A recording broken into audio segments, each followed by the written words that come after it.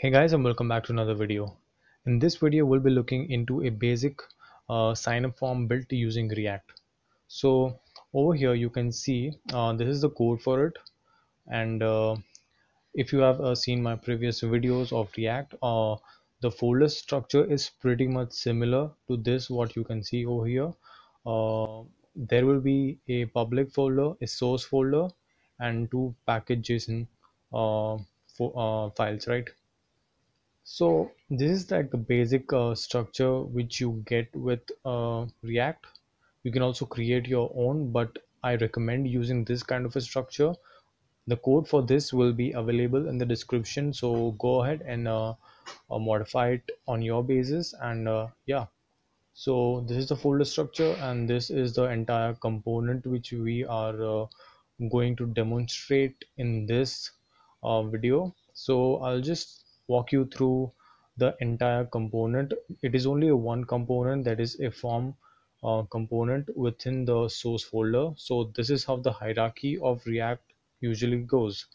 The source folder has a component folder and within the component folder you can have multiple components. So in our case it is usually uh, it is a single form component or js and there is a styles uh, css and a default index.js file. So basically we are using this form component to uh, be imported in this uh, main uh, react dom render component right?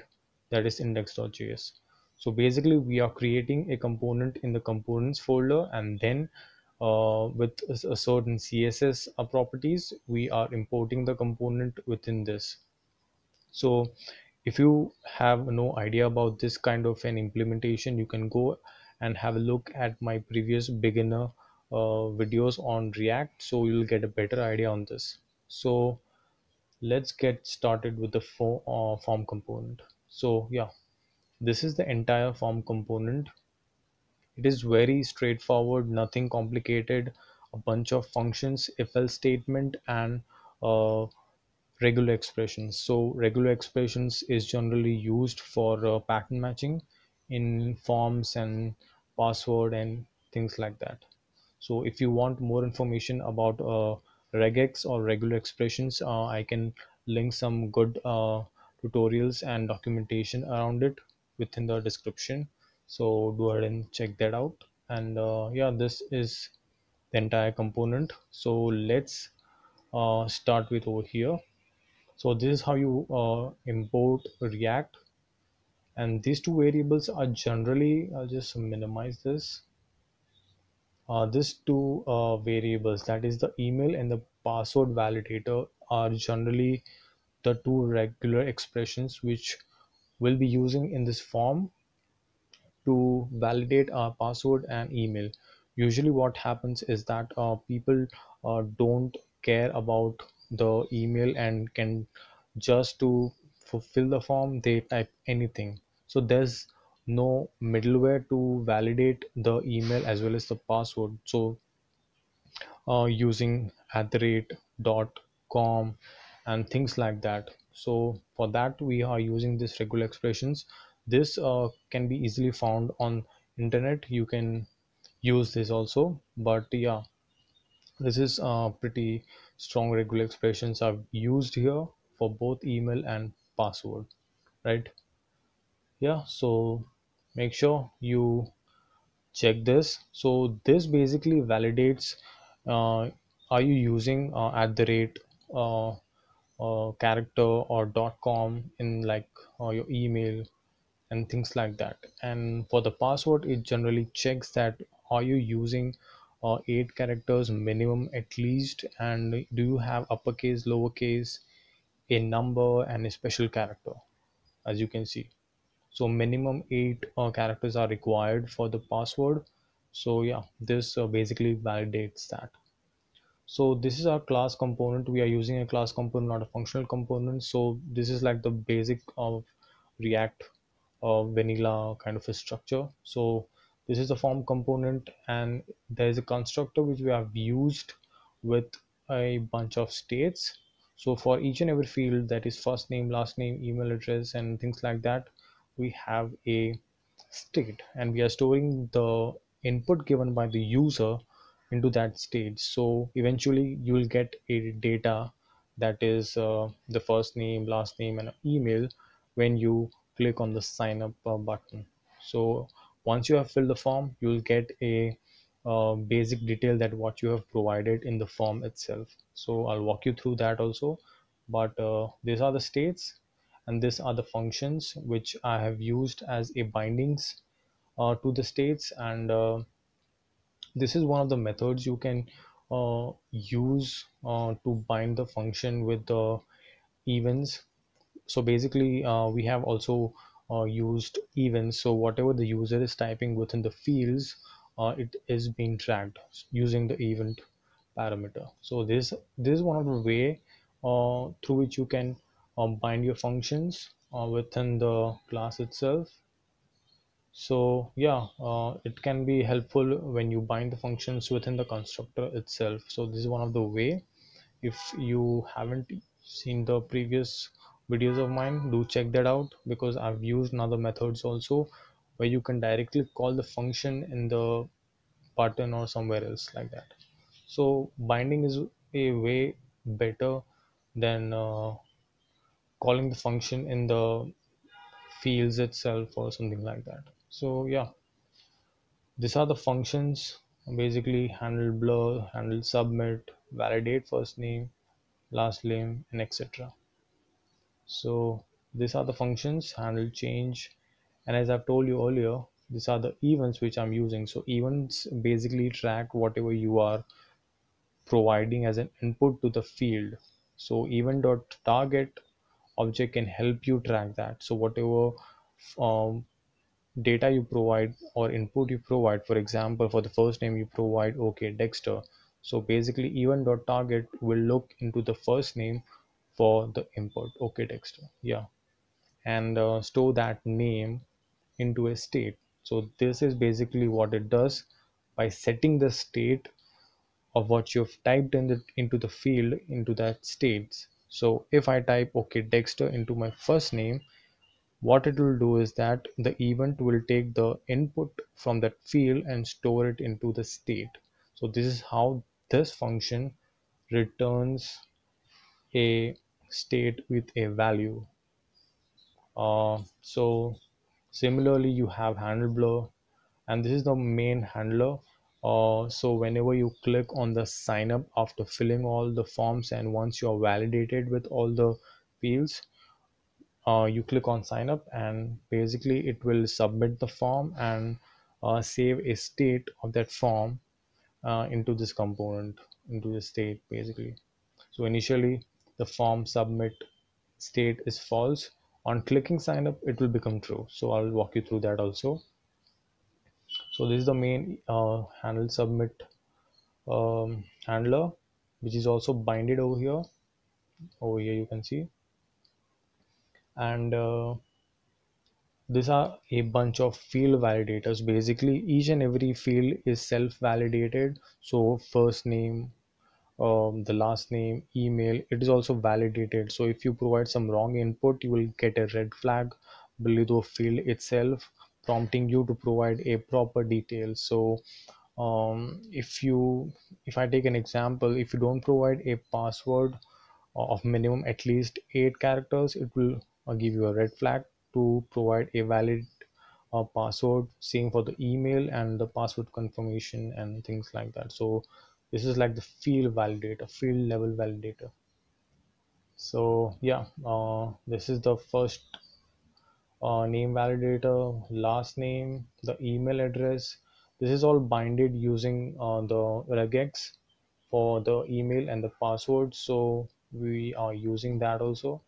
And it is a bunch of uh, if else statement. It is basically validating the state and uh, the regex. And uh, this is to validate the password and this is for the valid validating the password confirmation field. Whether the uh, state of the password which you have provided earlier is matching with the state of the password confirmation. So which is this statement basically. So if there is any mismatch with the password it will give you a flag uh, password doesn't match and it will return something password confirmation error.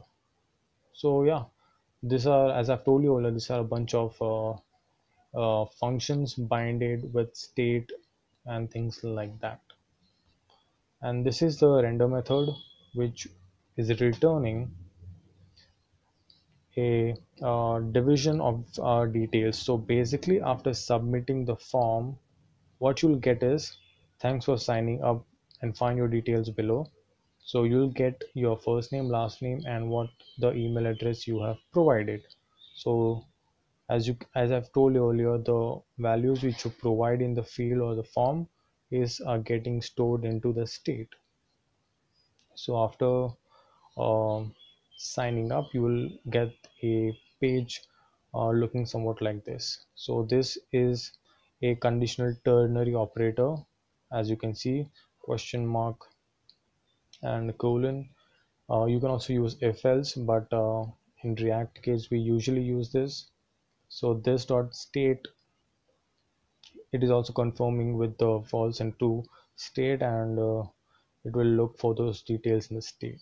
So once it is submitted you will get the details in a next page or component. And this is our form uh, division with on submit uh, handler. So on submitting the form you'll uh, invoke the handle submit uh, function which is over here. Yeah. So yeah these are a bunch of uh, input for email address uh, last name first name password. It is identical as the rest and uh, this is the button for sign up and this is the form which is ending with a close tag. And we are exporting the default form component.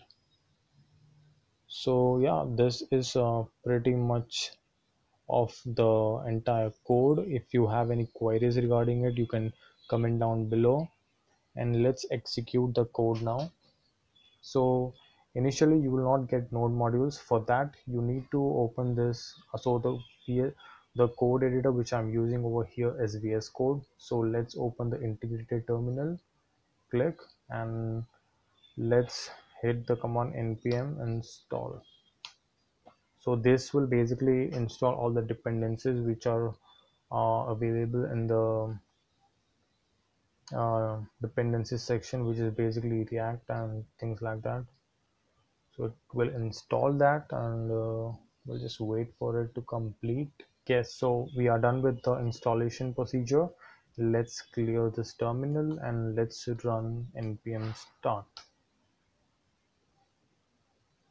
So this will start our development server on local port 3000 and you will see a form uh, in a minute.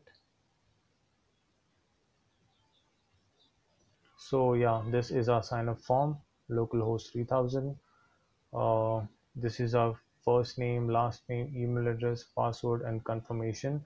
So this symbol is nothing but an extension which i'm using for uh, uh, password manager in chrome. So don't bother about this uh, black borders and black borders over here and not over here.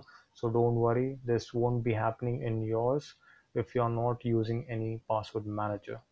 So yeah this is our basic structure of our form let's provide some uh, details. So as you can see i've not provided. I've just left it empty. It is already giving me flag so i guess we can uh, okay. Dexter. Let's do it as okay. Uh, Dexter. Let's uh, okay. Dexter. 34 at the rate gmail.com this is everything i'm providing uh, legit uh, not legit but valid values for the field to validate. Let's provide a password. Okay.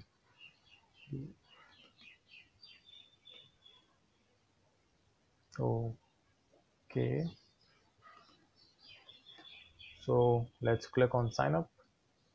And over here you can see so this is the password man- manager which I'm using. So yeah let's not worry about that. So this is what we get. Thanks for signing up and these are your details. So this details okay dexter email is coming from the state itself which I've shown you earlier. So let me go to the render section.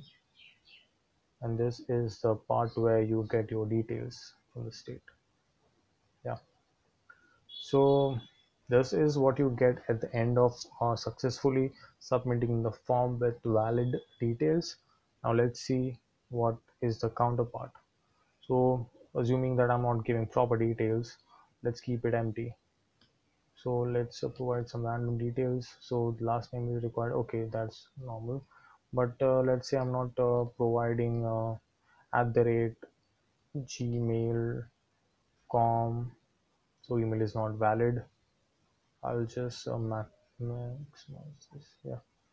So as you can see password I'm not providing password. So this is the red flag which you get. Password must contain at least 8 characters one minimum number uppercase and one lowercase. So these are the red flags which you basically get. And uh, password is not matching. So these are the red flags you, get when you uh, provide the details and it will not validate after submitting the form. So it will validate on the go itself. So as you're not providing valid email it will flag. Uh, it will not wait for you to submit the form right? So this is one of the basic uh, um, um, web developers um, implementation kind of thing. This is something you should know when you're working on some uh, authentication uh, format. Yeah so with the help of react you can uh, do this really easily and uh, with states it is really uh, a better idea to uh, explore more things. You also have Formik and inbuilt plugins for form validation in react but this is the basic structure how we can use react to build a sign up form with a vanilla kind of a structure. So yeah uh, this was the output and this is what we get. And this is the basic uh, showcasing uh, showcasing of the uh, sign up form. So if you have any queries regarding this you can uh, definitely hit me up in the comments and uh, so yeah this was it for this video guys. If you like this video for whatever reason please do subscribe. I'll be posting more videos and uh, more interesting things coming up uh, on the react really soon and as well as django. So stay tuned for that. I'm working on that. So yeah. Uh, this was it and thanks for watching